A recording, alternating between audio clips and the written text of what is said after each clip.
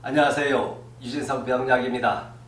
오늘은 일본에서 제 영상을 보고 전화를 하신 분입니다. 그러면서 사주를 의뢰를 했는데 자신의 사주 팔자에는 남편이 분명히 나와 있는데 왜 내가 이혼을 했느냐 그리고 근래에 다른 사람을 만났는데 정말 별로 신통치가 않다.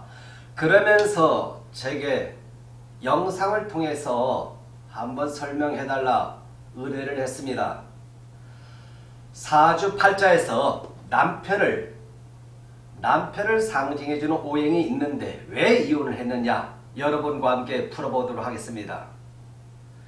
먼저 사주에서 여명 사주에서 남편 운이 좋지 않아 이혼하거나 별로 좋지 않은 경우 총 7가지 유형으로 나눌 수가 있습니다. 오늘은 그 중에 좀 쉬운 거 다섯 개만 이야기를 해보도록 하겠습니다. 자, 다섯 개.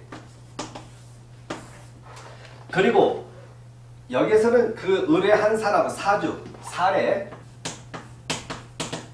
사례를 가지고 풀면서 이 다섯 가지 유형을 가지고 한번 비교를 넣어보겠습니다. 첫 번째 배우자 여명사주에서 여명사주에서 여자 사주죠. 여자 사주에서 배우자와 이혼한다. 혹은 인연이 약하다. 남편복이 없다. 다섯 가지 오늘 다섯 가지를 한번 해보겠습니다. 첫 번째는 뭘 봐야 하냐?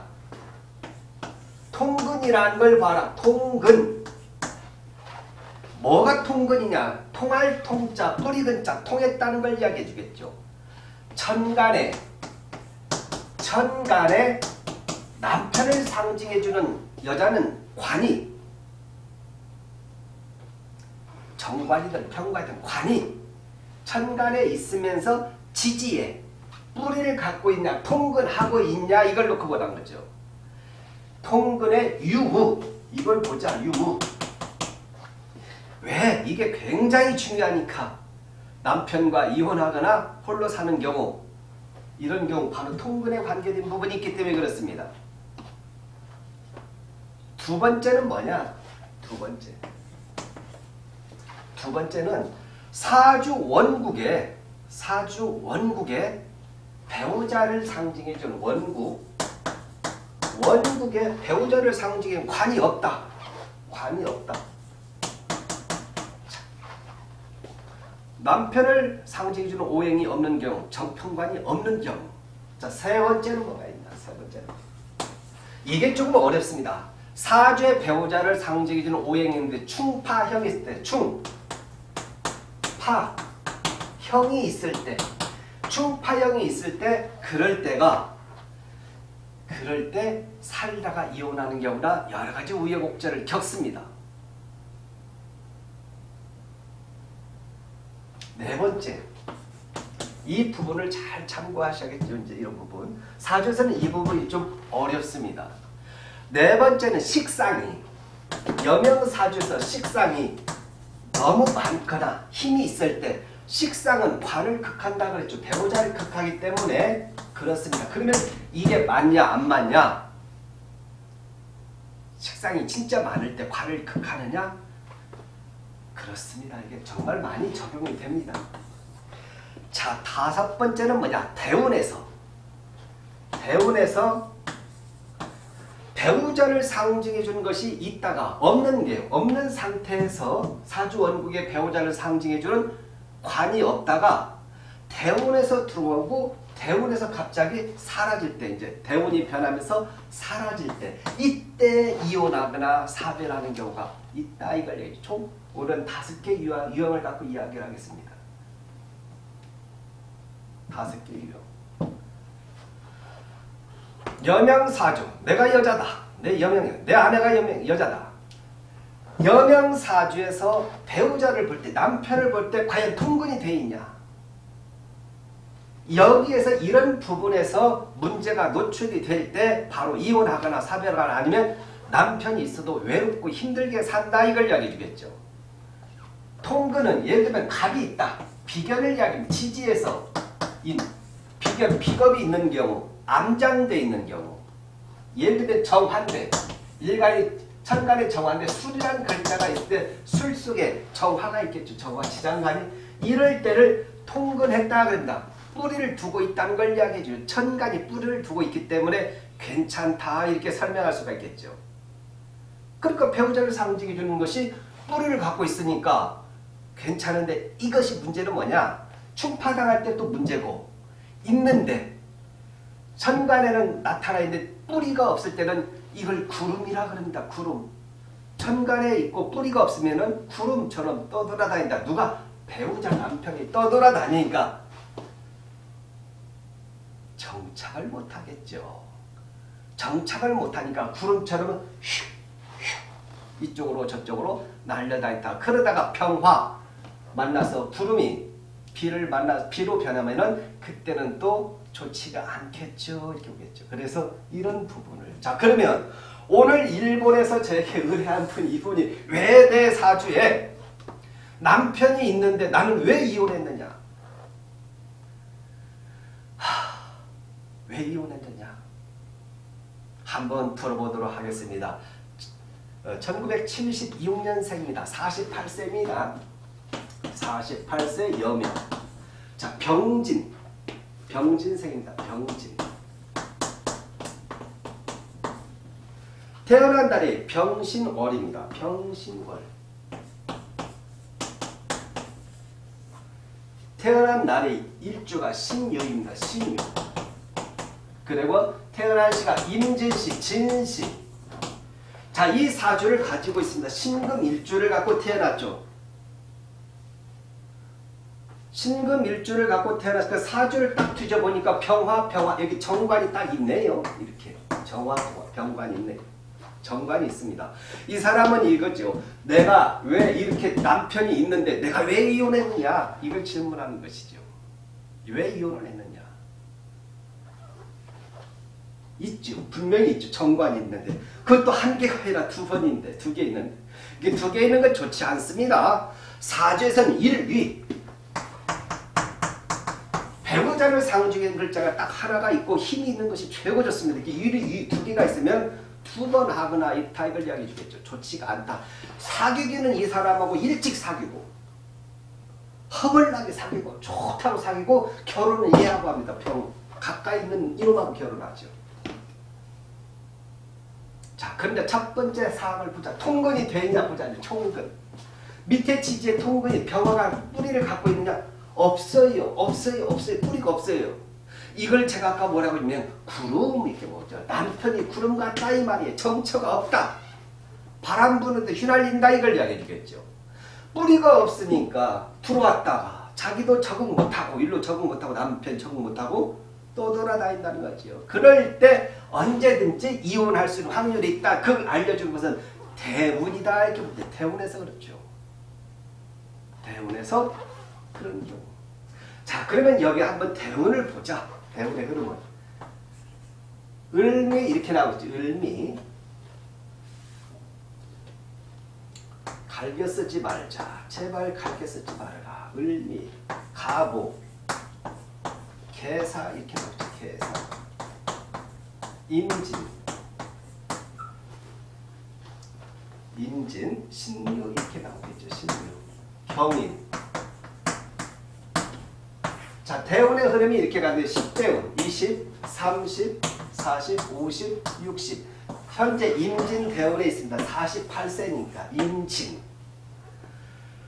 자, 뿌리가 없죠. 근데 여기서는 4, 5, 여기서 뿌리가 있죠. 20에서 29세 사이는 뿌리가 있죠. 얘가 여기 뿌리를 갖고 있고 대운에서 뿌리를 갖고 들어. 사도 뿌리가 있는데 이놈이 있는데 얘가 틀죠. 사신형을 하죠. 사신형을 하니까 흔들리겠죠. 30대. 그래서 여기서 문제가 있고 임진대운에 들어와서도 있다. 이걸 이야기해 주겠죠. 자 그러면 첫 번째 뭐냐. 통근. 뿌리를 못했다. 뿌리를 못했다. 근데 40 넘으니까 임진대운이 또 들어오니까 얘는 엎친 데 덮친 격으로 더 뿌리가 힘이 약해졌다. 그러니까 평화가 어느 곳에 적응하기가 힘들다는 걸 이야기해요. 자기가 있으면 죽을 것 같으니까. 이 사람 입장에서는 생각하되 남편이 이 자리에 있다면 그렇죠. 당신 왜 이혼했냐? 내가 죽을 것 같아서요. 남편, 아내가 죽을 것 같아서 이렇게 이야기했을 것이다. 왜? 죽으니까. 그래서 어떤 행위를 하느냐? 엉뚱한 행위를 해요. 아내 입장에서는 잡놈처럼 보여요. 왜? 엉뚱한 행동을 하니까. 근데 이 입장에서 뭐냐? 자기도 정말 열심히 살려고 하는데 힘들다는 걸 얘기. 그러니까 어긋나니까 자꾸 어긋나는 행동을 하고 여기서 바라볼 땐 저런 사람이 어딨냐 이렇게 나오겠죠. 그러니까 갈등의 골은 더 깊어질 수밖에 없다.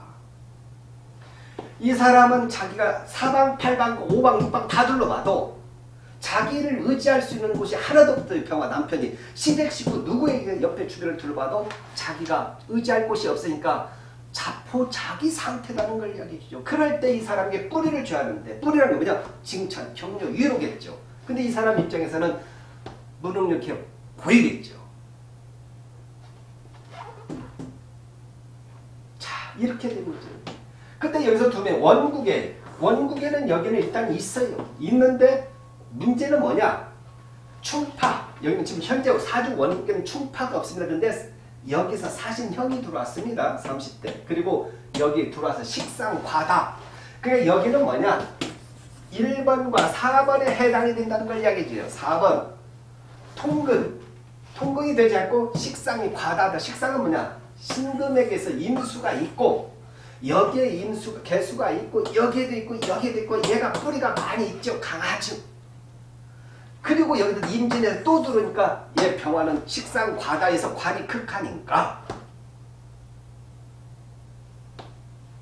관이 극하니까 살아날 길이 없다 이걸 이야기해 주겠죠. 그래서 힘들고 어려웠다. 이렇게 설명할 수 있게 경자전 신축년 20년도 21년도 극했을 것이다 이걸 이야기해 주는 것이죠. 그러니까 여기는 벌써 딱 여기 두 번째 식상 과다 통근 뿌리가 없는 놈을 또다시 치고 들어오니까 못 살겠다 힘들겠다 이런 것이 있고 또 이 사이에 40대 임진대운에 누구를 만나도 어떤 놈을 만나도 불량 감자다 이걸 이야기해 주겠죠. 그래서 힘들다는 걸 이야기합니다.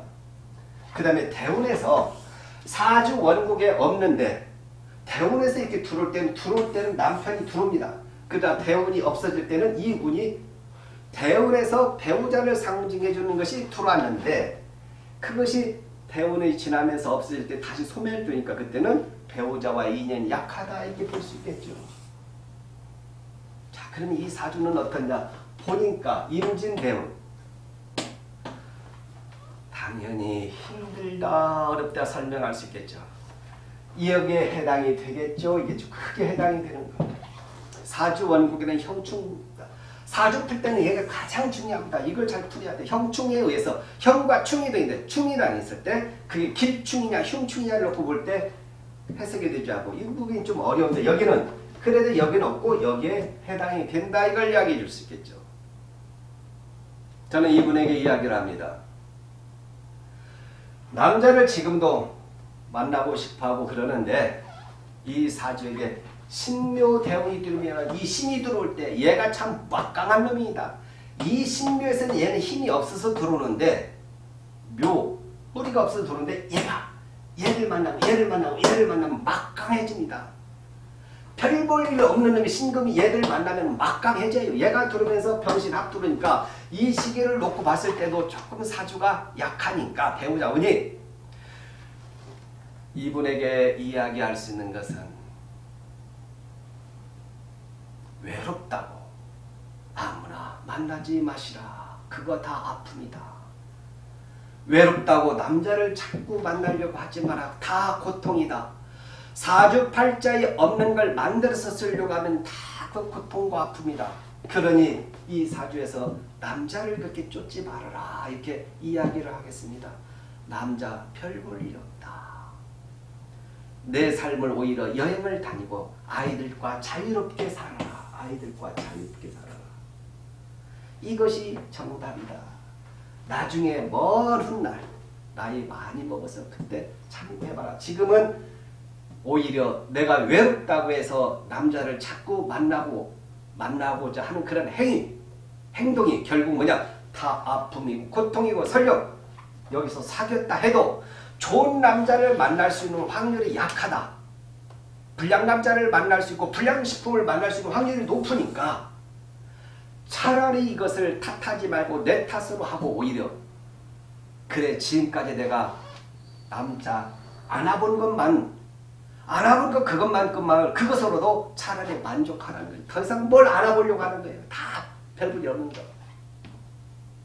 부질없는 짓이다. 오히려 아이들과 자신의 여행, 자신의 삶을 위해서 가는 것이 더 좋다.